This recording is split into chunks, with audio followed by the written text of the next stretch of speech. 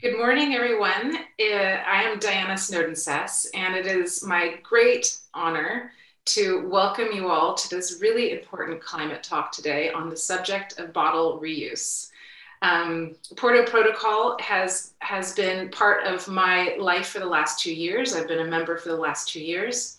It is a group of wine professionals who share best practices and tips and resources from all over the world in their in their companies. And it has given me a great head start in getting my businesses more sustainable. And it has been such a useful free easy resource available at all times. And um, traditionally, the subjects that we've been tackling have been sort of the easy subjects, what we call low hanging fruit. Today is everything but that um, if we're going to stick with metaphors, we're reaching for the stars. But of course, um, it's a big ticket item because when, if you've done any work in terms of carbon accounting and looking into how to reduce your greenhouse gas emissions, you will know that our wine bottle accounts for anywhere from 50% to 70% of the carbon emissions for a, for a winery. And so it's really a huge issue. It takes so much heat to melt glass and make a bottle. And if this bottle is only single single use and goes straight into the bin, and of course recycling is another quagmire, and every country has different success in recycling glass. But even if it does get recycled, it's still a tremendous amount of heat to reheat uh, the glass and melt a new bottle. And for generations, we reused glass, and it's only in the last 30 years that we decided that that was, um, that was not necessary and that we would throw the glass bottle away. And, um, and as we realize that it is time to get to zero emissions and to, to make our companies um, zero, zero, emissions and in agreement with the Paris Agreement, the bottle is going to have to be, the way we bottle our wines and re, re, reuse glass is going to have to be reconsidered. So it is so exciting that um, there are more and more companies, countries, and um, and co-ops that are starting to use bottles over again. It is not just a fringe thing at this stage. It's really ga gaining momentum. And today we have four companies who will tell us their story, how long they have been using bottles, um, the logistics that are involved, the particularities of each country. We have four different countries represented today, and they're each going to tell us a little bit about their landscape so that we can devise our own strategy for where our, our wineries and our, our um, and our communities are located because it's very geographically dependent and, and quite a complicated story. So we have 60 minutes to, to figure it all out. I've been so lucky to actually have met um, in person almost everybody. Almost everyone was able to come to Domaine Dujac and share a glass of wine and speak about sustainability. And that's the other wonderful thing about Porto Protocol is that you meet people who are on the same very difficult uphill battle and who share the same love for wine. And it gives you so much strength and courage to be optimistic. And so I am so pleased to introduce these four people and have them in my in my professional career. And I and welcome all of you to please enroll in Porto Protocol, join our big party, share what you have learned. Um, it starts with sharing a case study and um, they get categorized by subject on the Porto Protocol website. And then they're just a really useful tool if you decide that it's time for you to plant trees, or it's time for you to reuse bottles, or it's time for you to capture, capture carbon dioxide from your fermentations. You'll have all of these firsthand experiences at, at the ready.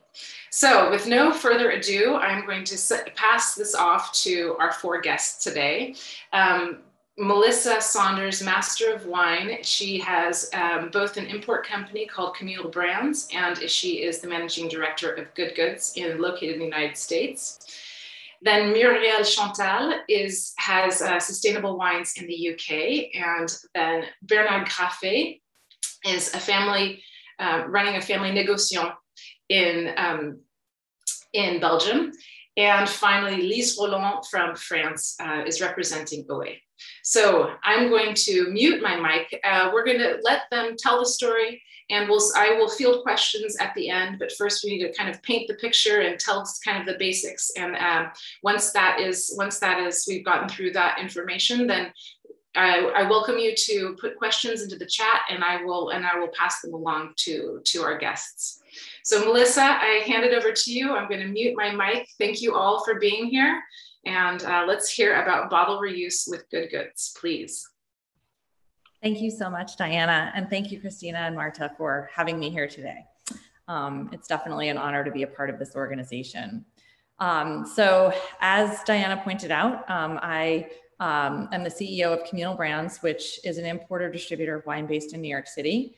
Um, I started the company in 2009 and have always had a focus on sustainability uh, with my portfolio. And um, I like to refer to the type of sustainability that I'm focused on as being more holistic um, from the farming all the way to the packaging.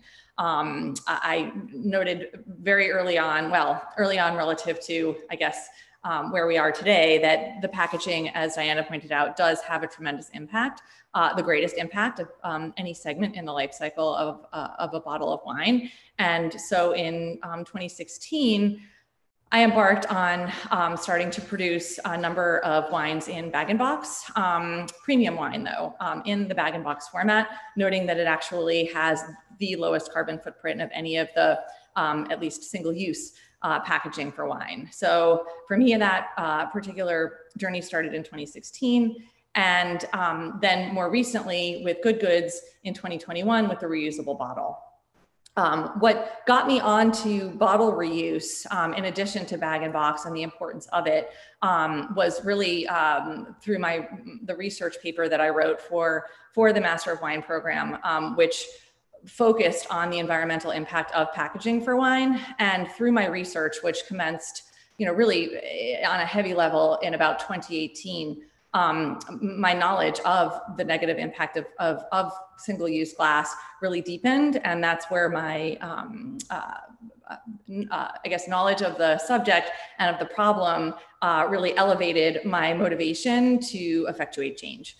Um, with respect to good goods, um, so 2021, um, I'm the director of wine. Um, I'm tasked with uh, curating uh, uh, wines that are in reusable bottle but um, I also have um, a legal background and a background in um, import distribution. So I, I, try to help on all levels. And uh, we, we, realized uh, quite early on that this is uh, a big journey that we're on. This is not something where we're going to snap, snap our fingers and be in reusables, but little by little, um, we're getting there. Um, we will be, uh, we haven't actually uh, launched um, a wine bottle in uh, a, a, wine in a reusable bottle yet, but that is happening um, this spring.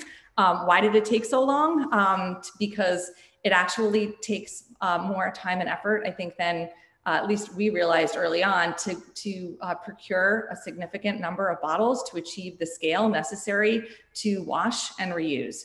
Um, so, you know, after at least for me, about, about, a year, um, where we are there, um, where we actually have, have the scale to be able to um, wash and reuse. And we will be launching our first wine in a reusable bottle later this spring, which is really exciting. But, you know, procuring those returns and getting consumer mindset around the idea of returning versus just put, putting it in the recycling bin um, was, was somewhat of an unanticipated hurdle. Um, yeah, so I guess um, speaking a little bit about that hurdle, I think um, generally speaking, you know, education is an important piece to this puzzle. Uh, the majority of the people that I engage with on this topic, their first instinct is, well, glass is, is fine because it's recyclable. That's most people's knee jerk reaction.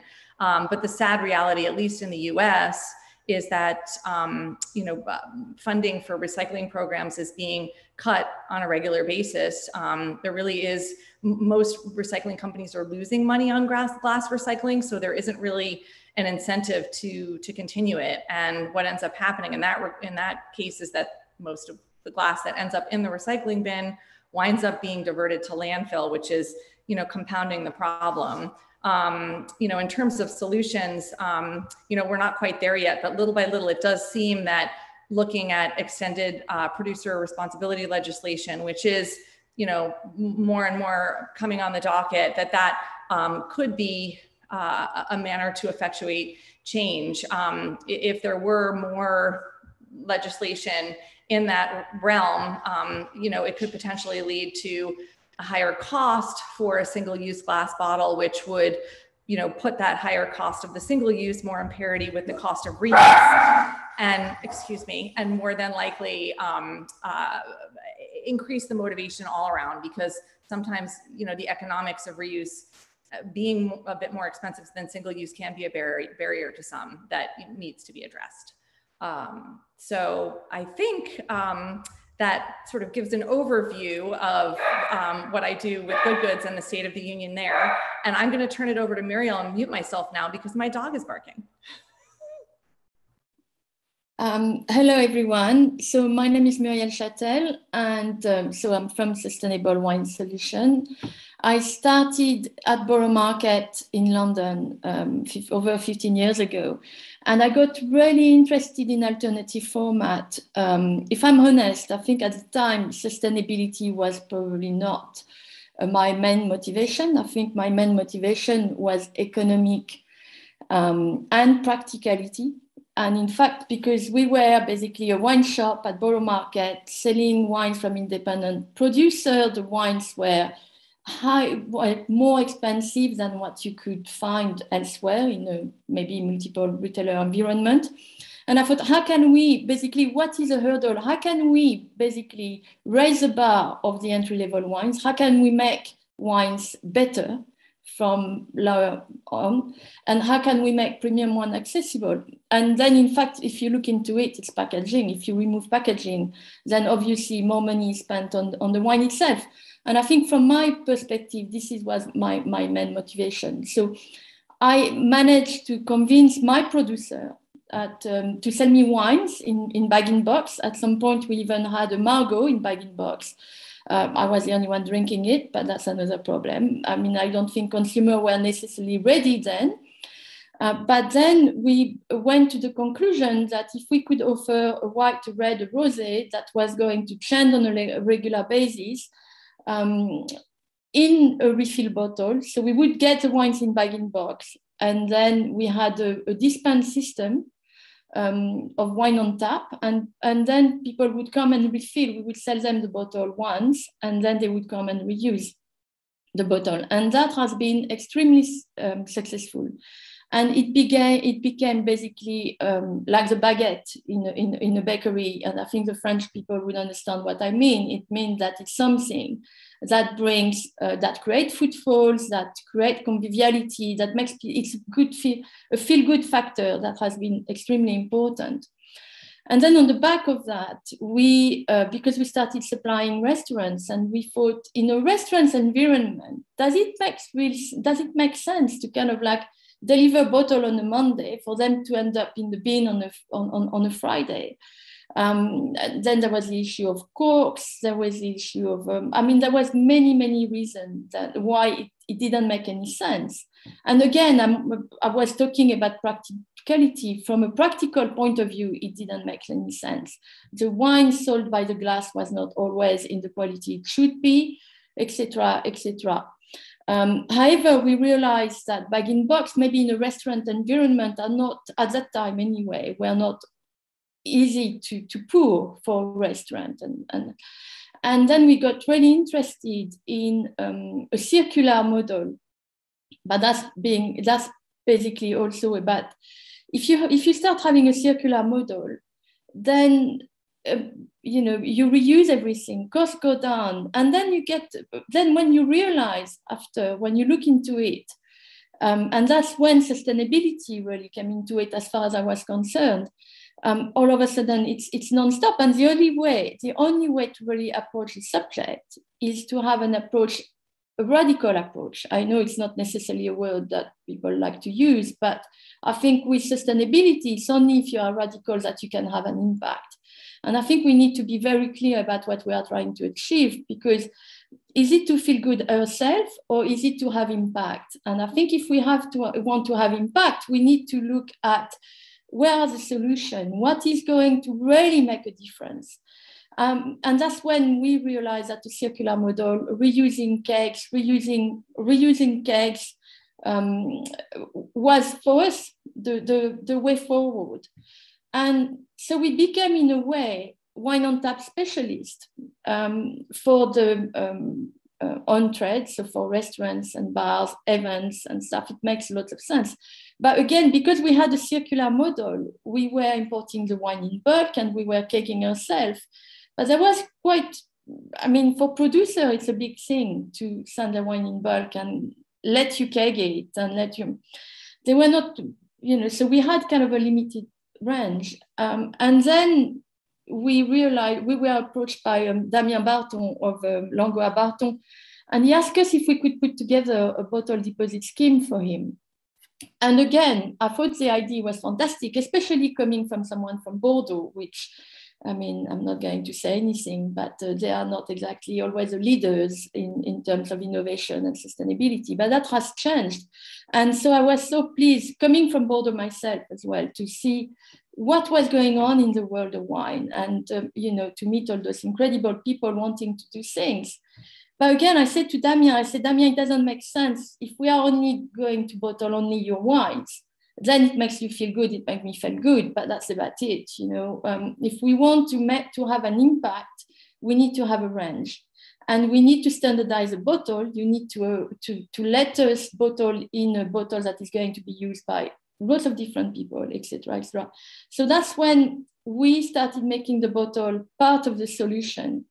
And that's been incredible for us. I think it changed everything. It changed everything because all of, all of a sudden we realize how much people are attached to the bottle and it would be a shame to, to see it disappear. And so also it meant that wine producers were a lot more into send us, sending us wine in bulk if it was going to be bottled.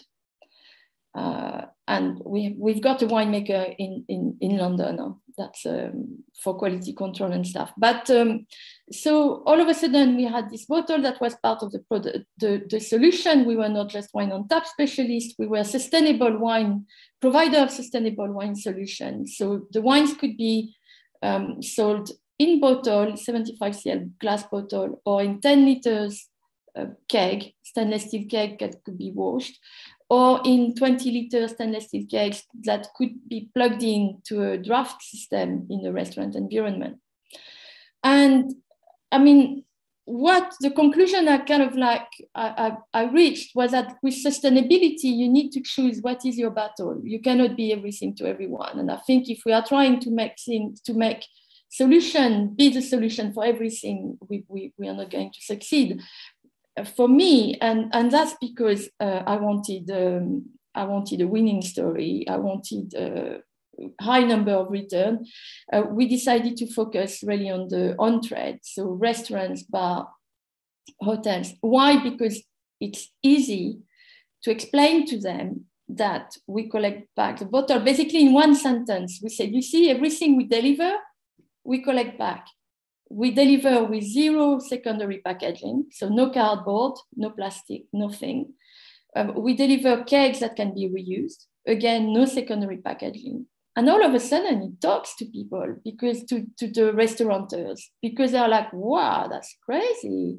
I don't have cardboard to deal with. I don't have no noise pollution at the end of the night into throwing bottles in recycling bins. Um, then I've got wine on tap as a solution for wine served by the glass.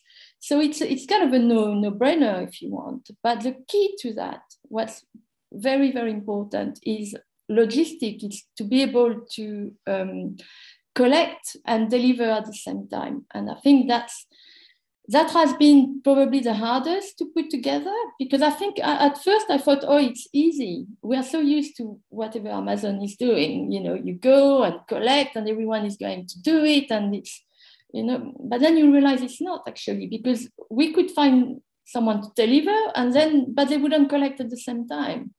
And I thought, well, no, we are not doing it. So we thought, okay, let's do it ourselves.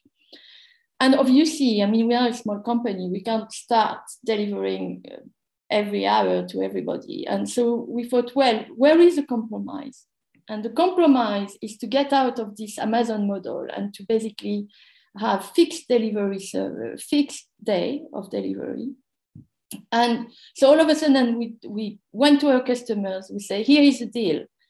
We can have this reverse logistics service at no extra cost, but you are going to get one delivery a week and it's going to be on a fixed day, which means that, well, you are going to need to get a bit organized or, I mean, and then again, you think that something that pushed you, so we were pushed into making those compromises. And then all of a sudden, everything is a lot more organized.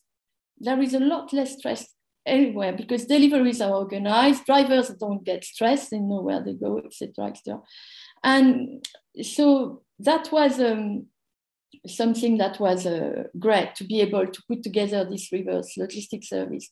However, again, because it's it, what's great is when you, I mean, I'm, i find the, those type of projects so exciting because it never stops. Then all of a sudden you think, okay, what's the next stage? And the next stage you think, okay, I'm using a 550 grams bottle. When that I, you know, doesn't make sense. It's not nice for in the warehouse. It's not nice. It's heavy. Um, if people don't bring it back, it's a lot of waste. What could we do?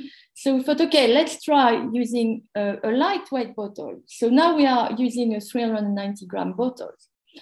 And the thing is, also I could do it because first it's my company. So if it doesn't work, uh, no one is going to blame me. Uh, I mean, I'm sure much uh, people would, but at the end of the day, I could make that decision and take that risk. And but what we find is that because the logistics is so organized because restaurants know what they need to do because at the warehouse we know what we have to do we do not have any breakages and so we are using a lightweight bottle we do not have breakages or so little that they don't make it into the statistics um, and yes so and i think that's impact and I think that's, you know, because in a way, the bottle, our bottle can be reused a minimum of 10 times per year. So that's, that's not nothing. Um, and I'm talking too much now, sorry.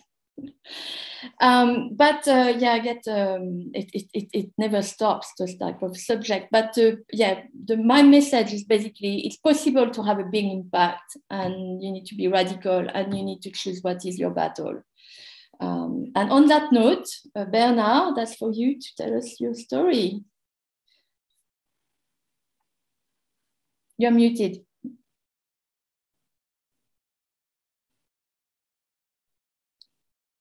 Bernard, on, on t'entend pas. It will be better like this, okay? So, so I'm very grateful for uh, uh, Porto Protocol and uh, especially Diana that take, took contact with me. And uh, I am very enthusiastic to, to see a dynamic uh, growing around uh, the interest of re reusing uh, bottles and to share and to try to change things. So to present myself shortly, so my name is Bernard Grafé. Et Grafé Lecocq is a family uh, company I am managing uh, since 95. Uh, so, and in fact, uh, if we come back in the story, the way we are in Belgium, but we are working with uh, French wines. We source the wines in all the different regions, uh, Bordeaux, Burgundy, Côte d'Or, and so on. And we bring the, the, the, the, the wine bulk uh, in Namur in our cellars uh, where we age the wine in the barrels and then we bottle the wines. So uh, regarding the uh, reusing of bottles, uh, since when? It's a long time ago. In fact, we uh, always have been in the family in a circular model since the beginning in 1879. So it's an heritage I have. So I had to to to to, to confirm that uh, uh, I, I, I, I was okay with this uh, way of doing.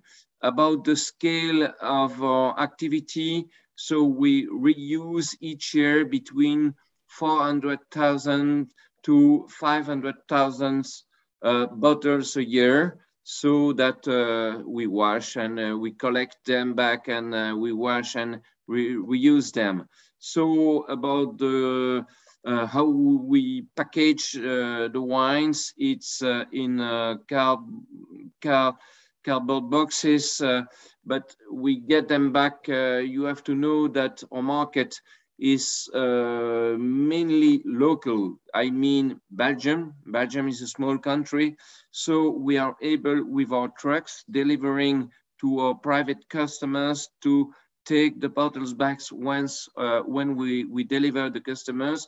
We are fellow customers, so it's easy for us instead of coming back uh, empty in the small truck that we bring back the bottles, we sort them again, and then we wash them again. So uh, about also, um, are we in this business model? Uh, we feel since lo a long time ago alone. Uh, I mean that uh, uh, for years I felt like a retrograde Muppet, you know, uh, as uh, really nobody was uh, in in in the, the in the customers um, except the people that were fellow with our products that uh, were used to, to bring back the bottles, but otherwise on the market, the sensibility of the markets was almost zero. And I see something growing today, and uh, this, this is something really interesting. I must say that uh, we are absolutely not helped but uh, uh, by uh, legislation and um, some taxes, incentives, and so on. There is a small difference between uh, a bottle going in the bin and the bottle we bring back. So this is really not something uh, today uh, very, very helpful, but this is probably something that might be helpful in the future that authorities think about uh, uh, a way of helping people reusing uh, the, the bottles. This is, uh, I think, a, a, very important point. Um, so I think I said I will, I think uh, it's later, I will talk about the, the, the, the, the carbon footprint, but I would say today that our motivation for uh, reuse the bottles, uh, three points. The first point is that concerning the carbon footprint, the difference is huge. The second point is that the energy saving is not only helping the carbon footprint, but it's helping concerning the energy saving and the third point is about saving some raw materials. So all these points together make sense to go further. I see some, some problems uh, that could be solved in the future. Maybe I'll, I will uh, explain more uh, deeply each point, but um, I think uh, every um, action, every initiative that could come uh, with uh, uh, less uh, uh, sort of bottles and so that there is a, a, standard so that people can share bottles together, it would be a good point. The second point is about the adhesive label. When you reuse a bottle, you have to wash it. It's a challenge an adhesive label is really a nightmare. And really uh, if you have it on a bottle it's done. Uh, it's not possible. And uh, so all these topics uh, might be uh, points of focus for the future. I can uh, go more deep on the topic later but i would like to give the word now to uh, Lise with Oé to, to talk about, uh, about your experience. Thank you. Thank you so much, Benar. And I'm so happy to be here. I'm very happy that Oé is able to participate in something like this. So um, if you don't know the company, uh, we are the French committed wine brand. That's how we we like to think of ourselves, and actually, it's how it was born. Um, compared to all of uh, all of you guys, we are kind of new in the business. We we were born in 2016 when our co-founders uh, Thomas and FX, who are not here today, met, um, and they kind of had they had this big realization that French farmlands are full with pesticides, especially vineyards, which represents 4% of our farmlands, but are 20% of all the pesticides we use.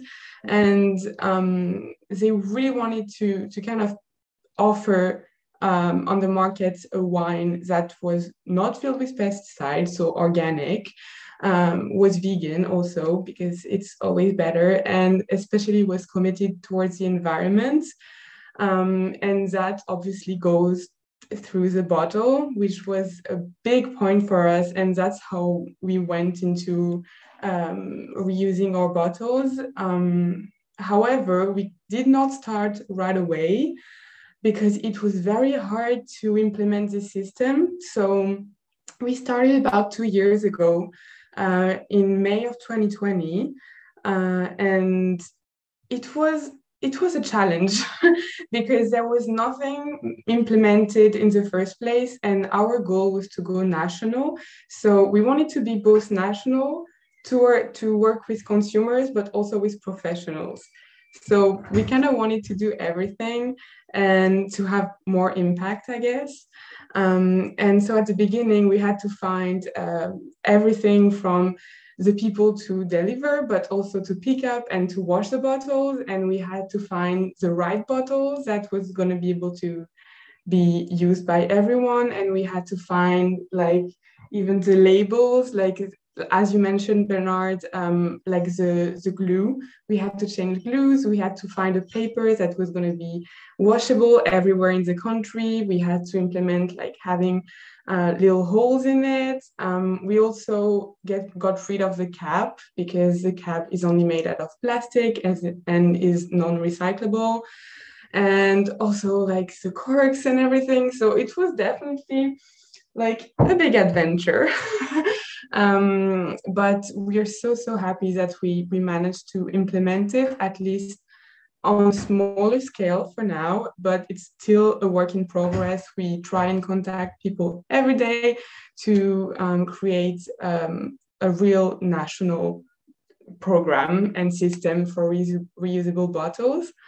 Um, as for the other commitments that Oé is having and doing because like we reuse bottles but also packaging uh, so we have for big orders especially we have a zero waste pallet that was extremely important to us and we deliver our big uh, big clients and especially professionals with zero waste pallets that are um, also based on a refund system so once they give it back to us we pay them back.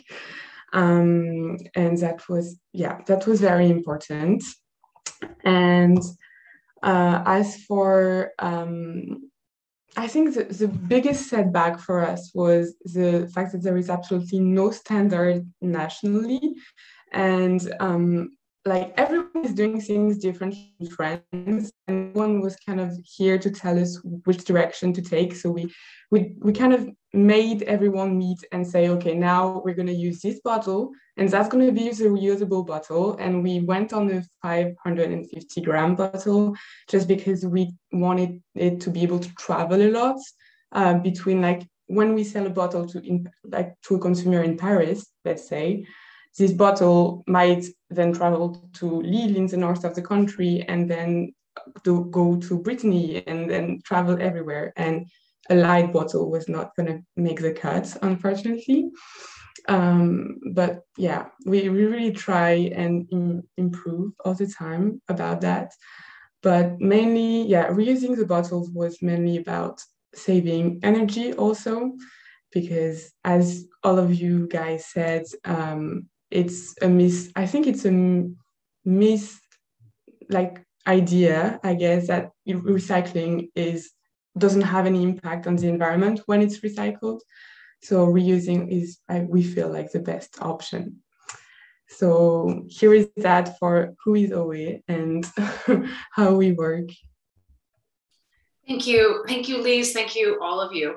Um, we had we had a little plan before we uh, before we started, and um, through the story, a lot of the questions have been answered. So I just want to tell the other panelists. I think I'm just going to go freestyle at this stage. Um, so forget what we had planned. Um, uh, and I'd like to talk about, I think, more in depth a few specific subjects. And I also want to uh, make sure everybody heard that it got repeated several times. Uh, what would be really great is if we all had one bottle. And actually, my my um, my birthday was last week, and as I blew out the candles, that's what I wished for. Why not?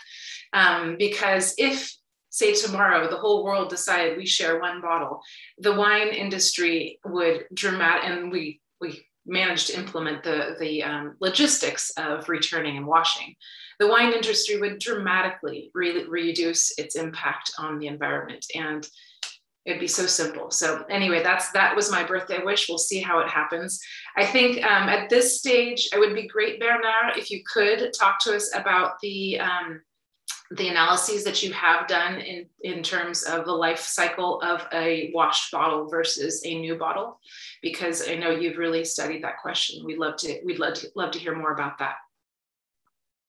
Okay, thank you. Yes, indeed. For the 140th anniversary of the company, uh, I, I, wanted to put figures on that. So we did ask an expert to calculate, uh, to compare uh, the carbon footprint of uh, uh, a bottle, a new bottle going to the bin and a bottle we, we bring back from our customers to compare the two processes. One situation is uh, really clear and explaining by itself uh, the situation. One, you have uh, uh a bottle uh, recycled from the bin. You have uh, to, to get the energy of, you have to get 140 degrees Celsius during uh, 24 hours. So you see the energy uh, you need to do that. To wash a bottle, you do it during uh, our experience is 40 minutes with uh, temperature of the water of the water between 60 and 80 degrees. So clearly there is a difference. If you put figures on that, so you have uh, about uh, for recycled a new bottle, it's 650 grams of uh, CO2 per bottle. And the process of washing a bottle, it's six grams. So you have a ratio on of one to 100. So it's clearly uh, at the advantage of washing. If you integrate all the external factors you can uh, get, of course, do you wash the bottle at the place you uh, bottle the wine or do you have to have a, a, transport to collect and so on?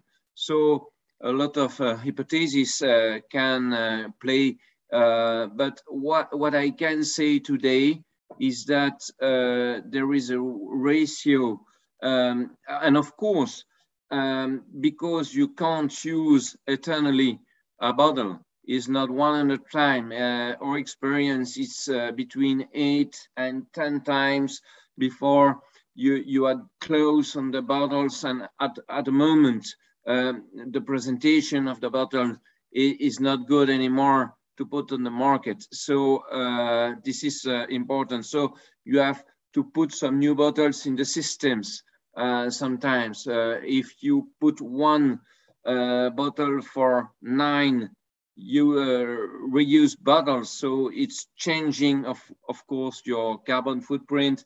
So let's say that in the, the we're working and uh, trying to reach now a ratio of one to six. So it means that there is uh, still clearly a big, big uh, difference on this point.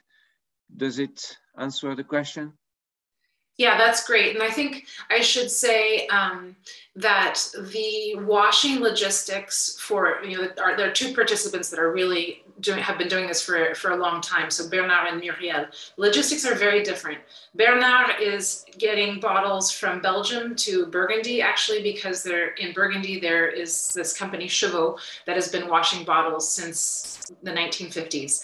And they have a huge machine that can do, I can't remember, 1,500 bottles an hour or something, and recycles the water, recycles the chemicals, and repalletizes and um, ships back to Belgium.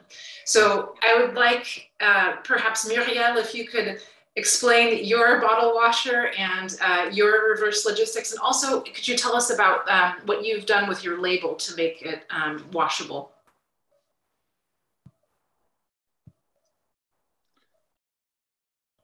You're muted. You're muted. you're muted. Voila. Sorry. Um, so the our labels basically it's it's not we are not completely there yet. There is still we think that we are on third try. We've got we started with a biodegradable uh, label made with bagasse, which is a sugarcane byproduct. Um, and but then the bottle, which was great in terms of washing, but then it wasn't good in the fridge. Um, and you have to think about all those things, obviously. And now we've got um, recyclable uh, paper. Um, it's water hydrosoluble um, label, and it's not as difficult to remove. So basically, you still need to soak the to, to soak the, the bottles for about um, an hour, um, and and then it it removes itself.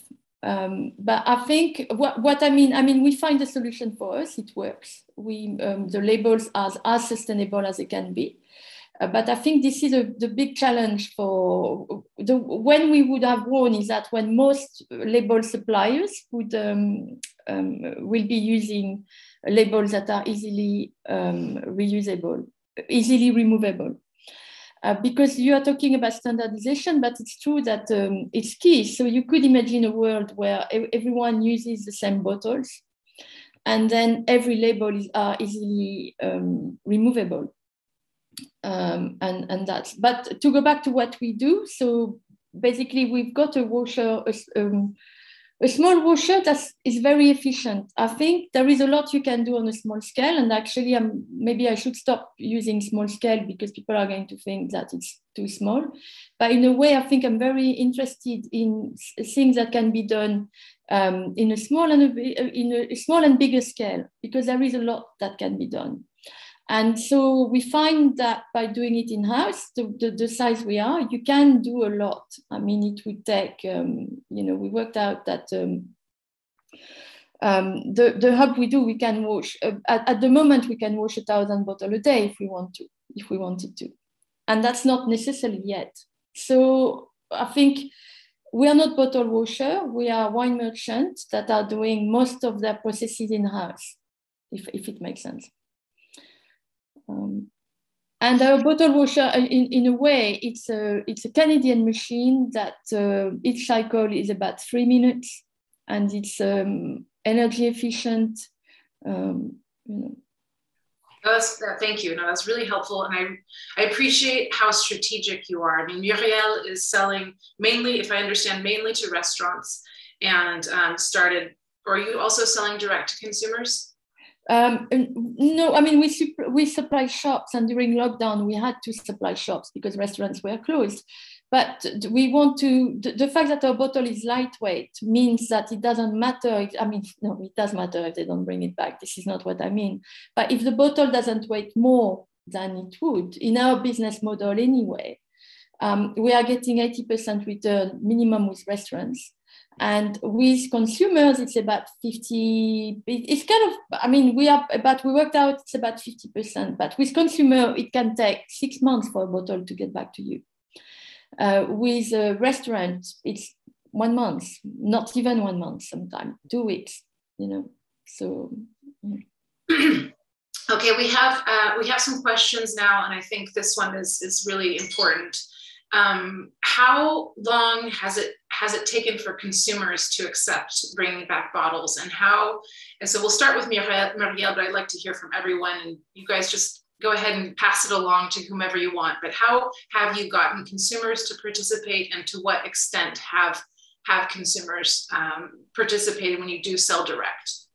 Okay, so the first thing we've been supplying wine in a retail environment by the refill in a refillable bottle for a long time, for over 15 years now. And we find that people have really went for it from, they loved it. They've completely embraced it. And we didn't allow people to bring any bottle. They had to buy it from us. I mean, not because we wanted to sell them necessarily a bottle, but we wanted to make it an object of desire and we wanted to show that um, you know we wanted to control the, the product the way the product was going to be drunk or presented on the table. And they, they loved the idea that they could help themselves that there was a tap and it reminded them and and some bottles some people came back with a bottle for you know i've seen bottles um, one shop we opened in 2011 with a one liter bottles and we only used the one liter bottle for something like one month so I know exactly when that was, and we still have people using it. And so that's, uh, you know, that's, uh, I don't think that could necessarily work in a supermarket environment, but in an independent wine shops, it can, it can work. People look after the bottles, they clean them, etc.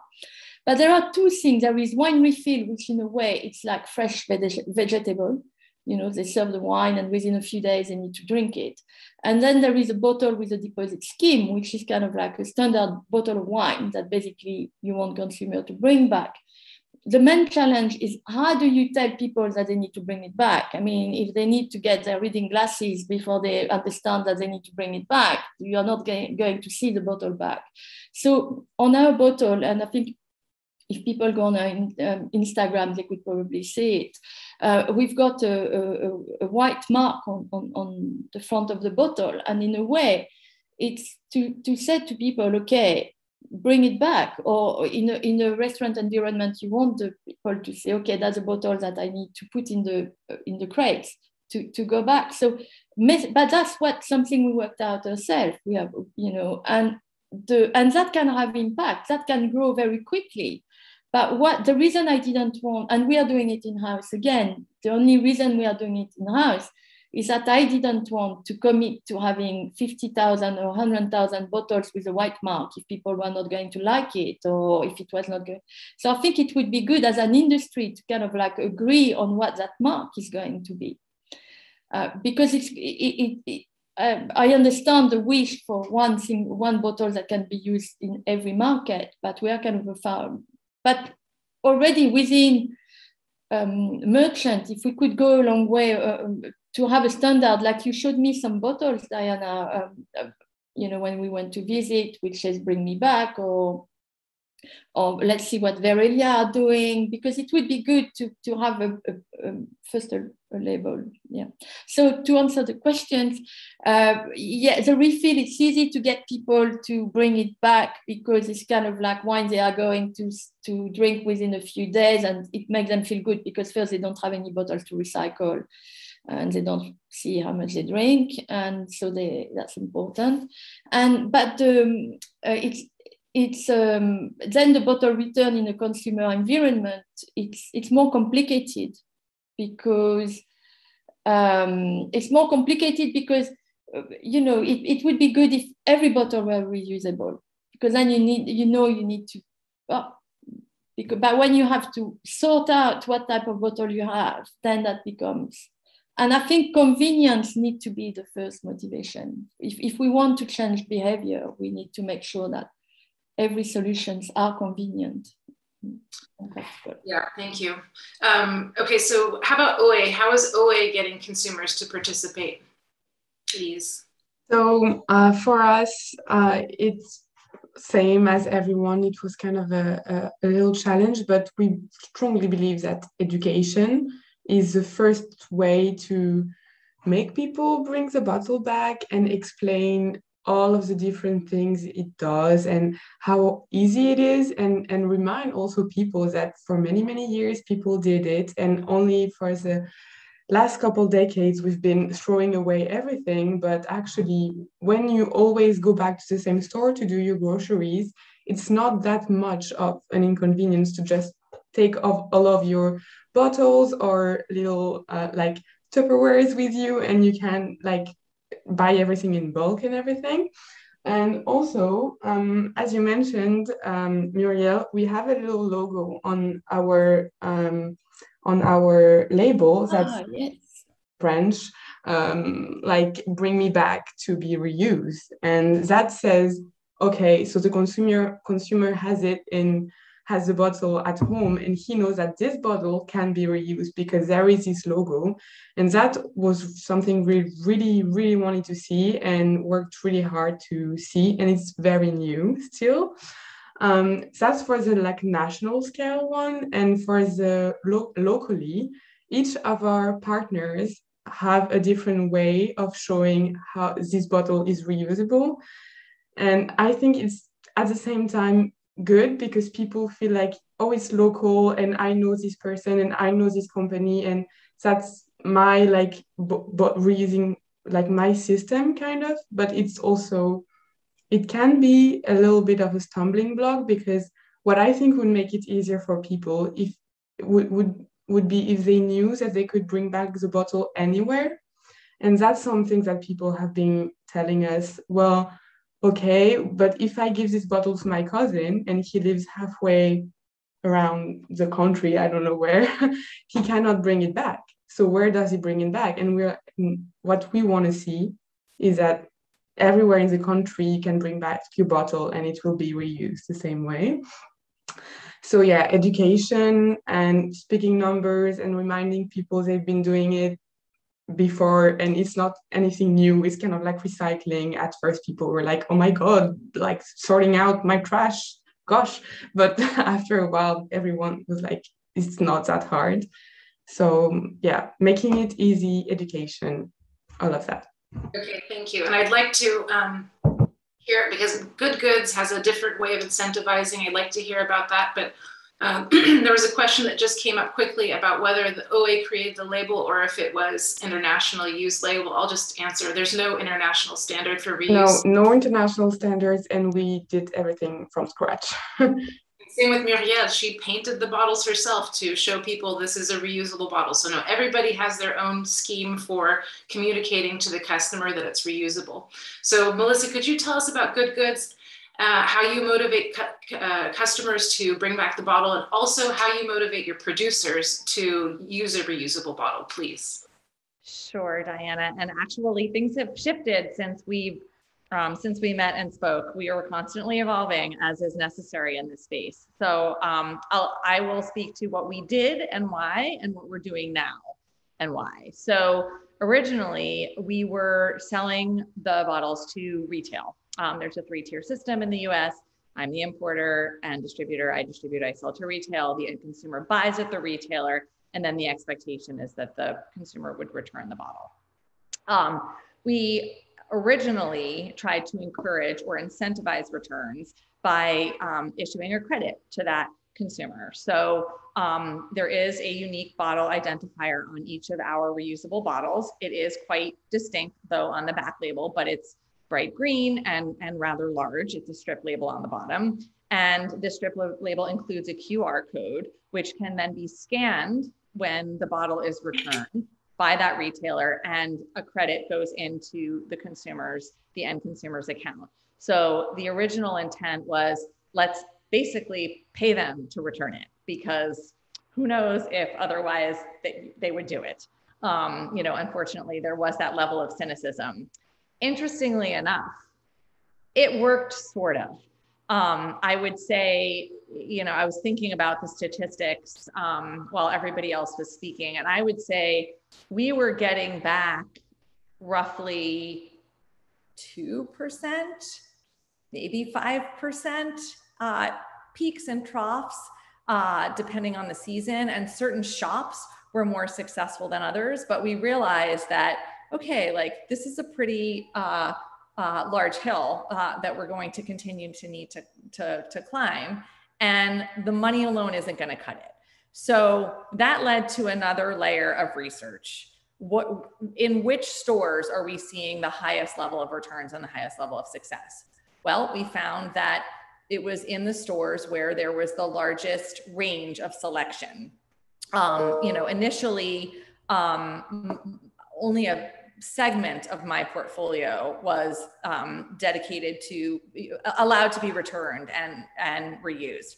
Um, with this knowledge that the more stores have and the more choice consumers have in the store the greater uh, likely they are to return. We expanded the number of selections within my portfolio to cater to that we also noticed that when you create a section within a store, so sustainably packaged wines, reusable bottles, where it was more prominent, and um, actually a conversation piece, um, you know, between the um, you know clerk in the shop and the consumer, that that also increased what we would call engagement in the end and we saw increases in returns.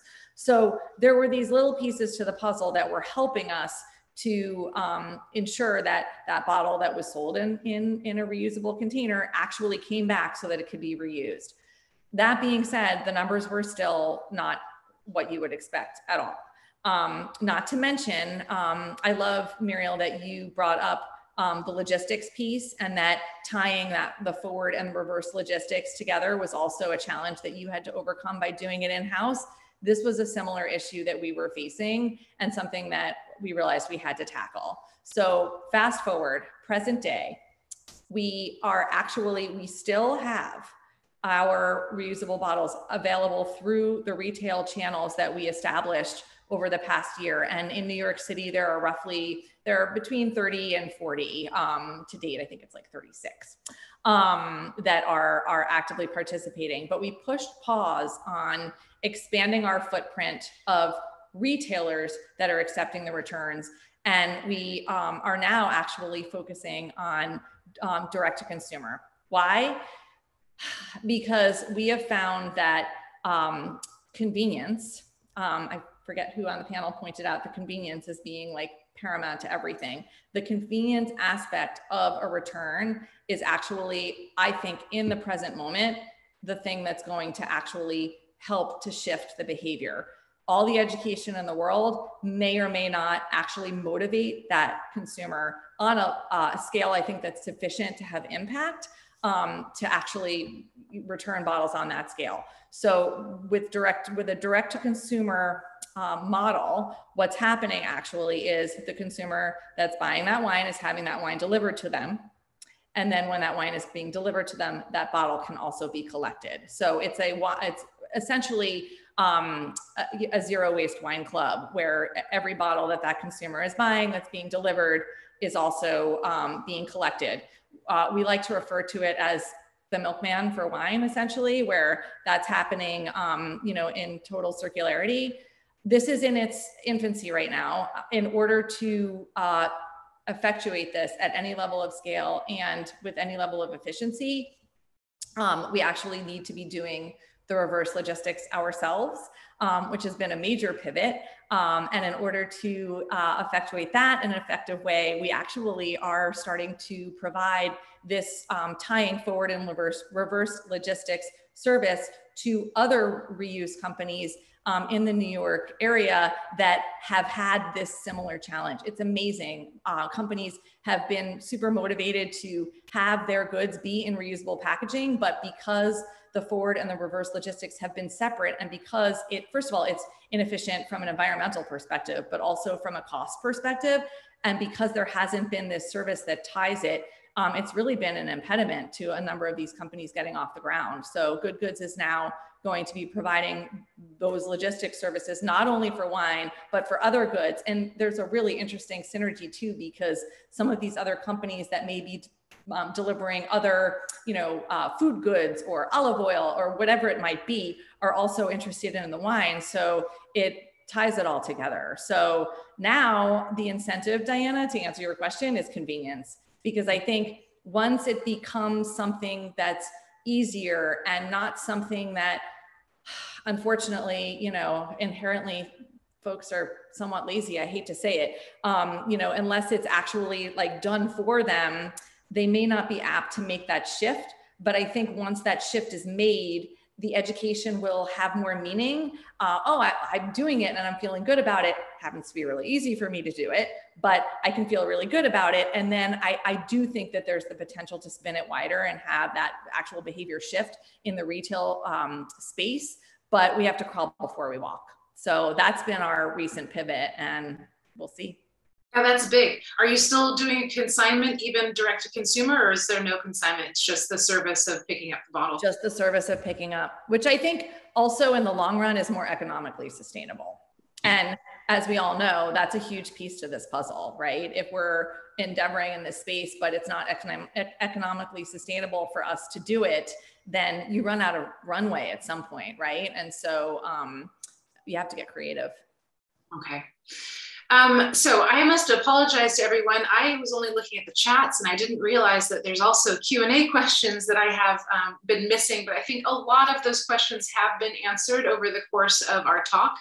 And I just want to reassure everyone also that today's video is going to be posted live, uh, posted on YouTube by tomorrow. It'll also be on the Porto Protocol website forever. And within the Porto Protocol website, there will be links on all of the subjects that we've addressed, which we will update as as um, as the the movement to wash bottles evolves, and it's and it's snowballing right now, and it's really really exciting. So we will update that with more information. There were questions about you know, getting into the nitty gritty of uh, carbon calculation of driving versus um, versus melting, and, and Bertrand really did address that. It's you know it's, it's complicated. Um, carbon calculations are horrendously complicated, but no matter what, rewashing is definitely better than um, than uh, recycling, which is, as we talked about, also kind of um, broken in some areas of the world, and um, and so yes, that, that has been proven, but we can get into those specific numbers. Also, we can we'll, we will get the information onto Porto Protocol, um, so everyone can check in with it, uh, it as as things evolve. Um, I guess at this stage, I just want to thank all of our participants. Uh, it's you know I saw I, I think we heard we heard the big underlying um, objectives and the work we have for ourselves in the form of legislation, in the form of education. Uh, there are businesses that are just waiting to be started uh, to help with the washing process. I mean, in order for this to actually work, we need more bottle washing companies, we need holding companies of empty bottles, all of those kind of uh, those are opportunities um, that that today's present day situation, which at times looks very very dire, is actually um, a lot of opportunity. And I loved the term radical impact. I think that that is what we should all be ambitioning for, and that is what I heard in all of you today. And I just, I just, I want to thank you so much um, for joining us. Um, I get it. Uh, please keep stay posted on, on the developments on the Porto Protocol website. Please share with us um, your own case studies and join the Porto Protocol team. And we will keep pushing on all of the fronts uh, that the wine business possibly can to have positive change and sustainability in the wine business. So thank you all. Uh, this has been a great start to my day, and I wish you all the best for the rest of your day. Take care, everyone. Thank you. Thank you so much. Thank you. Bye bye. Thank you.